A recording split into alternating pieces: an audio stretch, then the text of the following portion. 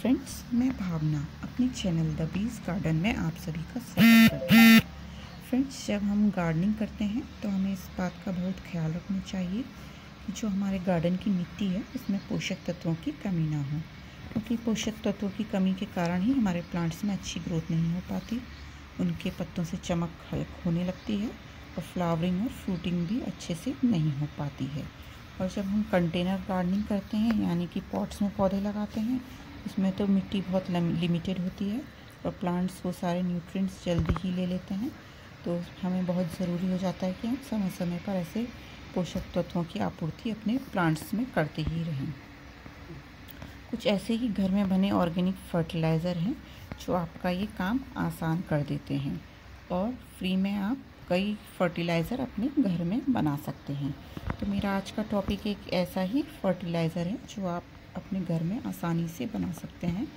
Free का और हमारे प्लांट्स के लिए वो लाभदायक है बहुत ज़्यादा, खास करके फ्लावरिंग प्लांट्स के लिए। तो मैं बात कर रही हूँ केले के छिलकों की। ये केले के छिलके जो आप डस्टबिन में फेंक देते हैं, ये बहुत ही न्यूट्रिएंट रिच होते हैं और हमारे फ्लावरिंग प्लांट्स के लिए बहुत ही लाभदायक होते हैं। इन केलों के छिलकों में पोटेशियम बहुत अधिक मात्रा में होता है, लगभग 42 परसेंट के करीब। और ये पोटेशियम का सबसे अच्छा ऑर्गेनिक सोर्स माना गया है, केले के छिलके। तो इसको बनाना कैसे है, ये हम देखते हैं। तो जितने भी आपके केले के छिलके निकले हैं आपके घर में, उसको आपको पानी में डुबो देना है, भिगो के रखना है तीन चार दिन के लिए। या एक हफ़्ते के लिए भी रख सकते हैं आप। मैं तीन चार दिन ही रखती हूँ, क्योंकि एक हफ़्ते रखने पर थोड़ी स्मेल से आने लगती है मेरे को। कि तीन चार दिन भी काफ़ी है। ये तीन चार दिन पहले मैंने कुछ डाले थे ये केले के छिलके पानी में। अब ये सारे न्यूट्रिएंट्स पानी में आ चुके हैं और ये एक तरल खाद में तब्दील हो चुका है। तो यूज़ करने से पहले हम इसको एक छन्नी से छानेंगे और इसको कैसे यूज़ करना है वो भी मैं आगे आपको दिखाऊँगी। गर्मियों के मौसम में तो आप छिलके के साथ ही अपने प्लांट्स में खाद दे सकते हैं और छिलकों को मिट्टी के अंदर दबा सकते हैं।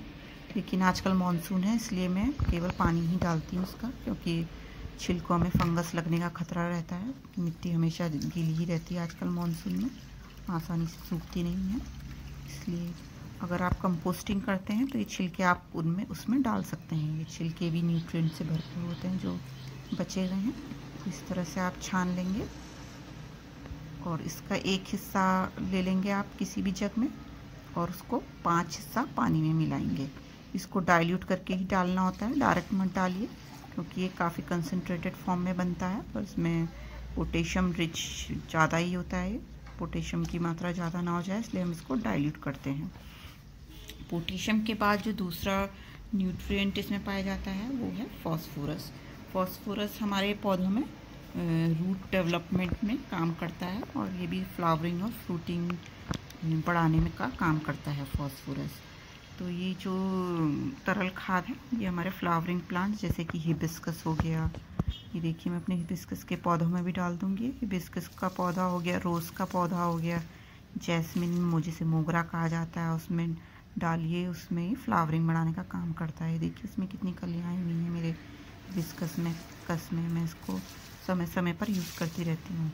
तो आप हफ़्ते हफ़्ते में डाल दीजिए इसे, इसका कोई साइड इफ़ेक्ट नहीं होगा। इसमें नाइट्रोजन की मात्रा बहुत कम होती है, इसलिए आपको और चीज़ों का भी यूज़ कर, करते रहना चाहिए, ऐसे नहीं कि सिर्फ़ यही डालें। इसमें नाइट्रोजन कम होती है और प्लांट्स को नाइट्रोजन भी ज़रूरी होती है। नाइट्रोजन फॉस्फोरस और पोटेशियम ये तीन जो न्यूट्रिएंट्स हैं, वो ज़्यादा अमाउंट में चाहिए होते हैं प्लांट्स को। और ये जो बनाना पील है, वो हमारे प्लांट्स में पोटेशियम बहुत अधिक मात्रा में दे देता है। और ये मेरे विनका के प्लांट्स ओवर वाटरिंग के कारण थोड़े येलो हो गए हैं मानसून में। तो आजकल वाटरिंग का भी आप ध्यान रखिए। तो फ्रेंड्स आप भी इस तरल खाद को आसानी से अपने घर में बनाइए और अपने प्लांट्स में भे बेहिचक डालिए और अपने फ्लावरिंग प्लांट्स में फ्लावर बढ़ाइए। तो फ्रेंड्स आज का वीडियो आपको कैसा लगा? आपको कमेंट सेक्शन में ज़रूर बताइए तब तक बाय टेक केयर